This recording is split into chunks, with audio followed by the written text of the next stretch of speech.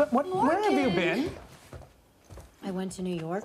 By yourself? I've been riding the subway alone since I was 13. Let's calm down, please. Don't tell me to calm down. What were you thinking? I don't know, Dad. I, I was thinking, though, maybe you should have left me where I belong. You belong here. No, I don't. Look, I know that you want to live in some perfect fairy tale land, but we don't. Okay? Morgan, we if live you want to be mad, you be mad at me. But you do not talk I to your hate it, mother okay? like that. My mother? Mm-hmm. She is not my mother. She's my stepmother. That's all she'll ever be. Stepmother. She didn't mean that. I think maybe she did.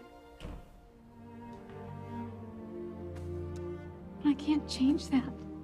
Giselle.